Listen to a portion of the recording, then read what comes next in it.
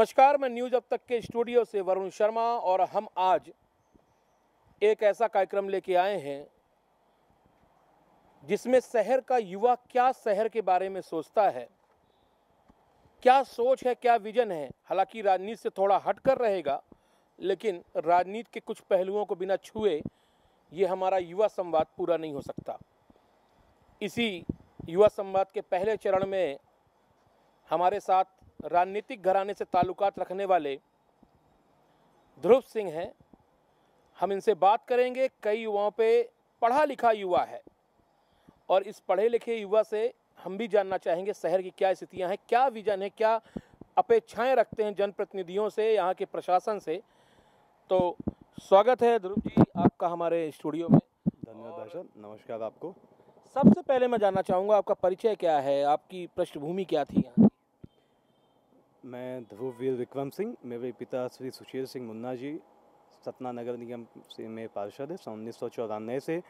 तो और मेरे बब्बा साहब, मेरे बड़े भाई इस दोनों गवर्नमेंट जॉब में हैं। तो इस नाते काफ़ी मिला जुला अनुभव राजनीतिक और प्रशासनिक दोनों प्रकार से रहता है मेरा। तो बहुत कुछ सीखने, समझने को मुझे मिला है अपने परिवार से। और शहर समाज को देख के भी मुझे बहुत से ऐसे अनुभव हुए हैं जिससे मैं आज आपके साथ साझा करना चाहता हूँ। आपके एक युवा होने के नाते क्या होना चाहिए था? जो विज़न होता है, एक जो शहर आप देखते हो, आज आप पढ़ लिख कर तैयार हो और आगे की भूमिका देख रहे हो उस हिसाब से क्या होना चाहिए था?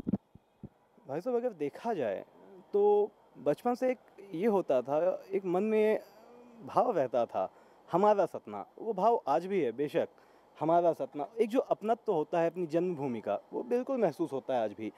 पर कहीं ना कहीं जैसे हम बड़े होते गए, अपने शहर शहर को देखते शहर के साथ साथ अगल बगल के शहरों को भी जब आपने देखा तो कहीं ना कहीं महसूस हुआ है कि अन्य शहरों की अपेक्षा कहीं ना कहीं विकास की गति धीमी हुई है। देखिए, विकास तो हुआ है बेशक, विकास एक सतत प्रक्रिया है, आप उसे रोक नहीं सकते हो के रहेगा, बस मायने ये बात रखती है कि उसकी गति क्या है। विकास की गति सबसे महत्वपूर्ण चीज़ होती है, और कहीं ना कहीं हम लोग इस विकास की गति में पिछड़ रहे हैं। उस विकास की गति का जो मुझे बेसिक कारण समझ में आता है, वो मूलतः है विज़न एक विज़न की कमी जब होती है तो भाई आप समझ ही नहीं पाते आपको करना क्या है, किया क्या जाए. तब चीज़ें बेतरतीब होना शुरू होती हैं, जिसका नतीजा आज हमारा शहर. हम अपने शहर को आज सबसे अस्त व्यस्त बसे हुए शहर के रूप में देखते हैं. बेशक.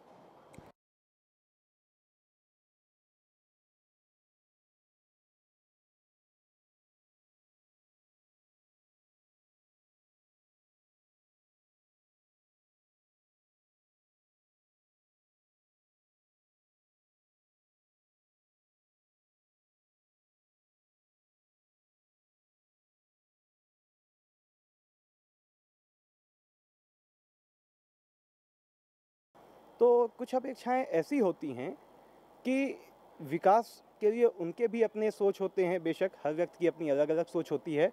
वो उस सोच के हिसाब से चलते भी हैं, बहुत हद तक सफल भी हुए हैं बहुत लोग, पर फिर भी हमारा तो यही निवेदन है अपने जनप्रतिनिधियों से कि सभी माननीय, अगर कभी कभार हम युवाओं से भी हम लोगों की सोच, हम लोगों की अपेक्षाएँ जानें कि हम कैसा शहर चाहते हैं, क्योंकि अंत में उनकी ये विरासत तो हम ही संभाल रहे हैं। इस शहर में रहना तो हमें ही है। तो कहीं ना कहीं ये भी सोचने का समय है अब, क्योंकि जिस तरह से अगल बगल के शहर, रीवा को देख लीजिए, कटनी को देख लीजिए, जिस तरह से ये शहर विकास कर रहे हैं तो कहीं ना कहीं अब ये सोचने का समय आ गया है कि हमारे बुज़ुर्ग, जो हमारी ऊपर की पीढ़ी है, वो कैसा शहर हमें विरासत में देना चाहते हैं? क्योंकि आज के समय में कहीं ना कहीं हम सब एक पहचान के मोहताज हो चुके हैं। हमारा सतना शहर आज पहचान का मोहताज है। कहते हुए बहुत दुख होता है, पर मैं ये कह सकता हूँ, दिल पे पत्थर रख के कहूँगा हालाँकि, कि हमारा जो शहर है, आज हम कहीं भी निकलिए, आप शहर के बाहर हम निकलें, आप निकलिए, आपने भी अनुभव किया होगा शायद, हम शहर के बाहर जब निकलते हैं, कहीं बात आती है कि कहाँ से हो, आप ट्रेन पे ही कभी आजमा के देख लीजिए, बताइए कि हम सतना से हैं। तो अगर संबंधित व्यक्ति आसपास का ना हुआ तो वो शायद ही है कि पहचाने। आप थोड़ा दिल्ली निकल जाइए, मुंबई निकल जाइए, साउथ निकल जाइए, आप सतना बताइए। तो मैंने जो व्यक्तिगत अनुभव किया है कि सौ में से पंद्रह व्यक्ति या बीस व्यक्ति होंगे जो शायद सतना को जानते हो, शायद। तो ये स्थिति आज हमारे शहर की। हमारा शहर, ऐसा शहर है भाई साहब, जो प्रदेश में सबसे ज़्यादा रेवेन्यू देने वालों में, जिलों में से एक है। Cement hub of the country कहा जाता है हमारा सतना उसके बावजूद हम लोग पहचान के मोहताज हैं, विकास में कहीं ना कहीं बहुत पीछे रह गए हैं। सोचने का वक्त है ये, क्योंकि तो आप ये कहना चाहते हैं कि जनप्रतिनिधि जो हैं, सतना के जनप्रतिनिधि हैं, वो युवाओं से संवाद करें।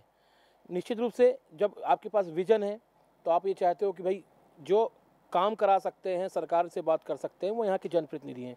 तो क्या आप ये ऐसा ही चाहते हैं कि जनप्रतिनिधि भी आप लोगों से, युवाओं से संवाद करें और आपके विजन को समझें उसको इम्प्लीमेंट करें। तो इसके लिए कुछ क्या पहल करने जा रहे हैं? कि आपने कहा है तो मैं उसमें बताना चाहूँगा आपको कि जब हमारे जनप्रतिनिधियों की बात होती है तो यही बात तो देखिए हम सब स्वीकार करेंगे कि कहीं ना कहीं एक जनरेशन गैप का फ़र्क, एक असर तो दिखेगा, फ़र्क रहेगा जनरेशन गैप का। तो अगर हमारे जनप्रतिनिधि, सभी माननीय, अगर हम लोगों से एक संवाद करें समय समय पे संवाद करें, हम लोगों की अपेक्षाएँ क्या है, उसे समझें तो हमें लगता है कि हम लोग एक बेहतर तरीके से विकास कर पाएँगे, क्योंकि एक ऐसा शहर, जब हम शहर की बात करते हैं मानी तो क्या होता है कि हम शहर को हर व्यक्ति अपने अपने नज़रिए से देखता है। एक बुज़ुर्ग एक शहर को अपने नज़रिए से देखेगा, उसी शहर को हम एक युवा अपने नज़रिए से देखेंगे। उस एक ही शहर को हम सभी की अपेक्षाओं को पूरा करना पड़ेगा, चाहे बुज़ुर्ग हो, चाहे युवा हो। तो कहीं ना कहीं बिना संवाद स्थापित किए ये चीज़ मुमकिन नहीं हो पाएगी। क्योंकि काम कराने का, किसी भी विभिन्न विकास कार्यों को करने का जो पावर है, वो तो जनप्रतिनिधियों के पास है। पर एक विज़न हम लोग भी दे सकते हैं। हम युवा हैं। हम समझ रहे हैं चीज़ों को कि अब क्या चल रहा है, किस तरह से और डेवलपमेंट किया जा सकता है। हम उस चीज़ को समझ रहे हैं। तो अगर आप हमसे भी पूछें तो हम लोगों को भी बहुत अच्छा लगेगा कि हाँ हम अपने शहर के विकास में भागीदार हुए। आपके नज़रिए से सतना में क्या होना चाहिए? किस तरह का सतना होना चाहिए? हमारे लिए तो बचपन से हमारा शहर, हमारा सपना सपनों का सपना ही था। एक ऐसा सपना जो सपनों में हम सोचा करते थे कि ये ऐसा होगा हमारा शहर। तो अगर बताया जाए कैसा होगा वास्तव में तो जो हमारा ख्वाब है, जो हमारी सोच है, हमारा जो विज़न है, हमारा शहर, एक ऐसा शहर होनी चाहिए भाई अपनी कम से कम मूलभूत सुविधाओं के लिए तो हम किसी दूसरे शहर की तरफ़ ना ताकें कम से कम। हमारा यही सोचना है। माना कि अगर मूलभूत सुविधाओं की बात करें तो कौन सी सुविधाएँ होंगी? रोटी, कपड़ा, मकान, शिक्षा और चिकित्सा। आज के समय में पहले तो रोटी, कपड़ा, मकान होती थी, पर आज के समय शिक्षा और चिकित्सा भी बुनियादी सुविधा हैं। वो चाहिए, उनके बिना हम जीवन की कल्पना कर ही नहीं सकते। तो आज के समय में देखिए, शिक्षा और चिकित्सा, ये दो ऐसे क्षेत्र हैं जहाँ पे हम पूरी तरह से तो नहीं कह सकते, कुछ शिक्षा के लिए कुछ अच्छे प्रयास हुए हैं यूनि- सतना में यूनिवर्सिटी भी आई है, कुछ कॉलेजेस भी हैं, पर फिर भी एक टॉप क्लास स्टडीज़ के लिए या फिर टॉप क्लास हेल्थ फैसिलिटीज़ के लिए हम कहीं ना कहीं बड़े शहरों पे निर्भर हैं। चाहे आप नागपुर ले लीजिए हेल्थ फैसिलिटीज़ के लिए, मुंबई, दिल्ली, हम इन पे निर्भर हैं। हमारा यही कहना है कि अगर चिकित्सा की बात है तो भाई, हमारा जो जिला अस्पताल है, उसको भी अभी हाल फ़िलहाल में अपन ने पेपर में पढ़ा भी था कि उसको भी कुछ अवार्ड भी मिले हैं हेल्थ सर्विसेज़ के लिए। तो अगर हमारा, हमारे शहर में इतनी अच्छी एक अवार्ड विनिंग हेल्थ इंस्टीट्यूट है, जिसमें हम जाके इलाज करा सकते हैं तो भाई, हम बाहर क्यों जा रहे हैं? तो भाई, जो हमें समझ में आया, इसे कृपया अन्यथा न लिया जाए। पर अगर काफ़ी हल्के तरीके में कहा जाए तो अगर सीरियस मरीज़ सतना जिला अस्पताल में जाके इलाज कराए तो उसका तो वही होगा कि मौत से दो चार करना या अमराज से दो चार होने वाली स्थिति ही रहेगी। मान रहे कि फिफ्टी फिफ्टी का केस है, अब जिला अस्पताल पहुँच गए तो। क्योंकि देखा जाए तो सतना का युवा जो है, वो फ़ैशन में है। फ़ैशन के बाद वो थोड़ा बहुत उस युवा का ध्यान फ़िल्मों का बहुत सारे करेक्टर्स खींच लेते हैं। फिर वो युवा कुछ ऐसे सामाजिक, असामाजिक गतिविधियों में लिप्त हो जाता है। तो युवा तो आ ही नहीं रहा है तो जनप्रतिनिधि क्या करेंगे उसके लिए? तो भाई साहब, बहुत ही अच्छी आपने बात कही। मैं इसमें दो तीन पॉइंट पे आपसे अपनी बात शेयर करना चाहूँगा कि हमारे शहर में, हम शहर क्या, हम हर जगह जहाँ भी हमने देखा है, महसूस किया है कि अगर कुछ लोग, कुछ युवा सुल्तान मिर्ज़ा बनने की दिशा में है तो कुछ सुखदेव सिंह बनने की दिशा में भी हैं। हमें इस चीज़ को कभी नज़रअंदाज नहीं करना चाहिए। और रही बात युवाओं की सहभागिता की। कभी आप हमें मौका तो दीजिए सहभागिता की। देखा जाए तो एक तरफ़ यूथ, आज का यूथ जो है, विचारों में तो बहुत कुछ करना चाहता है। और किसी चीज़ को संभालने के लिए राजनीति की ज़रूरत होती है। राजनीति से पढ़ा लिखा यूथ क्यों जा रहा है? युवा बिल्कुल नाम नहीं सुनना चाहता। पॉलिटिक्स का नेता नगरी से उनको नफरत सी हो जाती है। बिल्कुल किनारे चले जाते हैं। बिल्कुल उनको कोई मतलब नहीं। वो जॉब, छोटी जॉब करने में भरोसा लगते हैं। लेकिन एक राजनीति भारतीय में जो चुनाव हैं, इन सबसे कटते हैं।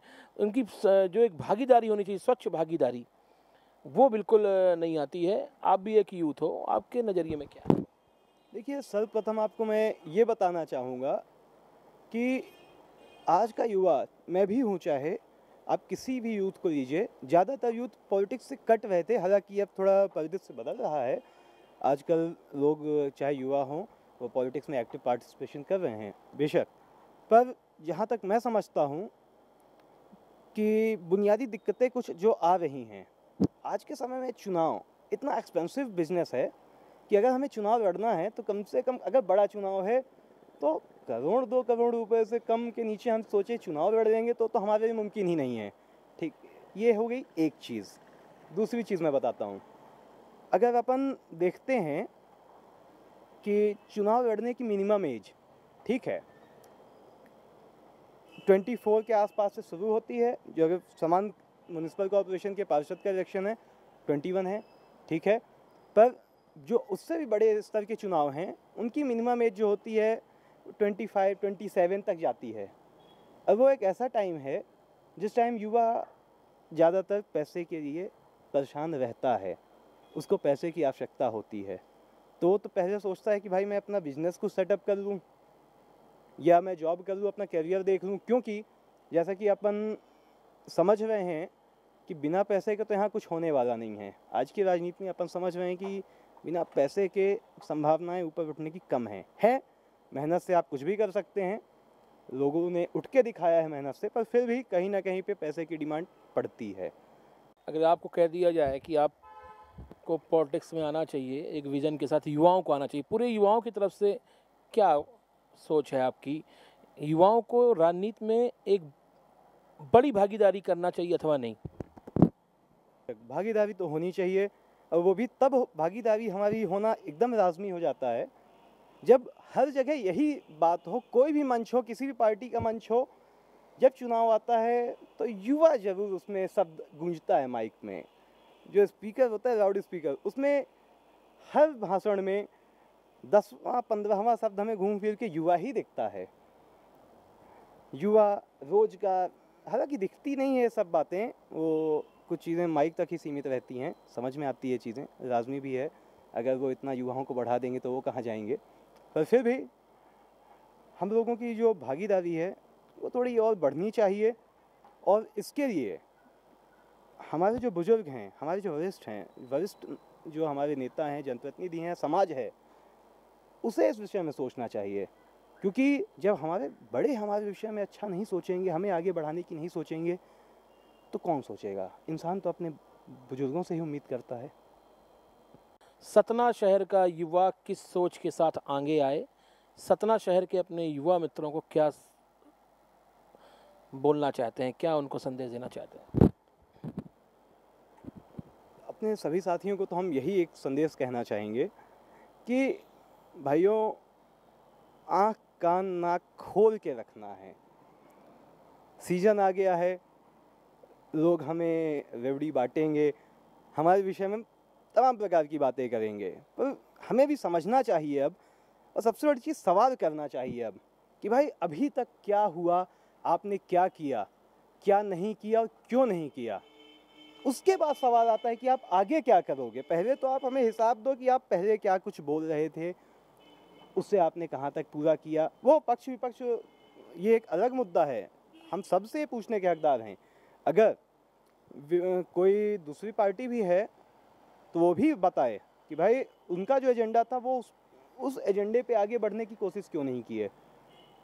भाई, ठीक है, आप सरकार पे नहीं हैं, माना जो सरकार पे हैं, उनका तो समझ में आता है कि भाई, उनके पास पावर। ठीक है, आप सरकार पे नहीं, पर आप विधानसभा या लोकसभा में हैं। आप भी वहाँ पे अपना इशू रख सकते हैं। अगर वो इशू सच में तगड़ा हुआ इशू मज़बूत है, जनहित का है तो सबको मानना पड़ेगा। तो भाई, सवाल तो हम दोनों से कर सकते हैं और करना भी चाहिए। बस यही है कि थोड़ा हम सबको समझदारी से काम लेना होगा, क्योंकि शहर के लिए अभी पाइवटल पॉइंट हो चुका है।